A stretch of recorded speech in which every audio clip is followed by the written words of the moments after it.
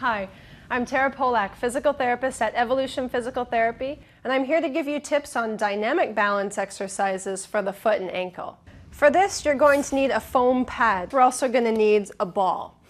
Okay, Shantae, we're going to challenge your balance. I want you to stand on one foot facing me.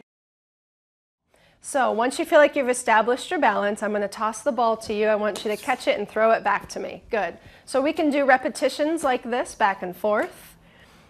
And I can throw it from one side to the other. Good. Really challenging your balance so you don't know where the ball's coming from. This makes it more of a dynamic exercise. You look like you're doing pretty good at this. I'm going to challenge you just a little bit more by putting an unstable surface under your foot. So go ahead and step on this foam pad. Good. It's going to be a little more challenging now that the surface is unstable. And we're going to toss that ball one more time. Good. It's always nice to have a table right next to you. Just in case you start to lose your balance, you can touch it to regain that balance. Nice job. Good. So I'm Tara, and these are dynamic balance exercises for physical therapy for the foot and ankle.